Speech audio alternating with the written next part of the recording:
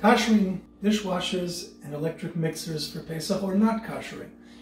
Most do not kosher dishwashers, while many have outside exteriors which are metal, but oftentimes there are many components within which are plastic.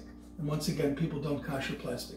Another problem is simply getting enough hot water, sufficiently hot, boiling temperatures to be able to kosher it. That's difficult, hard to determine, and therefore many, I would say most, avoid koshering dishwashers for Pesach.